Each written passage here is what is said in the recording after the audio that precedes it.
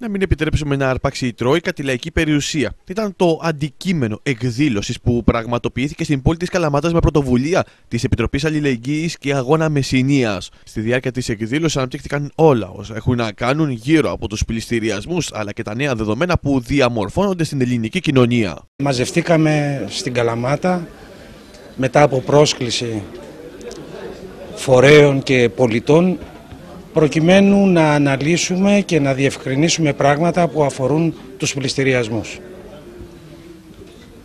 Όλοι λίγο πολύ γνωρίζουμε τι συμβαίνει, γνωρίζουμε ε, την κακομοιριά αυτού του τόπου, όχι επειδή το θέλει ο λαός της, αλλά επειδή του το επιβάλλουν.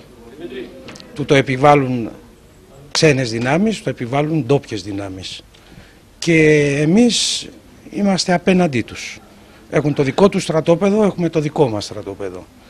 Αγωνιζόμαστε, θα αγωνιστούμε με ένα σκοπό, την ανατροπή όλων αυτών των μεθοδεύσεων. Ε, αρνείται όμως να αποδεχτεί αυτή την κακοποίηση και τη φτωχοποίηση και την εξαθλίωση ε, των συμπολιτών της και θεώρησε υποχρέωσή της να σηκωθεί από τον καναπέ της και από την ασφάλεια του σπιτιού της ε, και να βγει στο δρόμο να αγωνιστεί για να προστατεύσει και να ε, υπερασπιστεί την ε, περιουσία είτε αυτή είναι δημόσια είτε είναι ιδιωτική αυτού του λαού.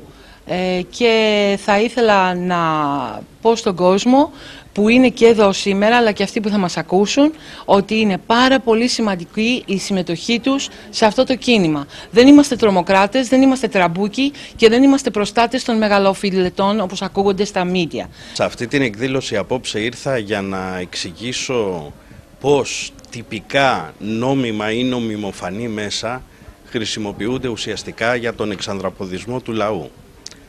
Είναι μια επίθεση που γίνεται συντονισμένα, γίνεται με νομικό τρόπο, θεωρητικά με νομιμοφάνεια, γιατί οτιδήποτε υποτίθεται πηγάζει από τον νόμο είναι και σωστό, όμως δυστυχώς τα πράγματα δεν έχουν έτσι, γιατί ζούμε σε ένα κράτος όπου οι επιθέσεις κατά του συντάγματος πλέον έχουν λάβει τέτοια έκταση που είναι βέβαιο ότι το σύνταγμα έχει καταληθεί.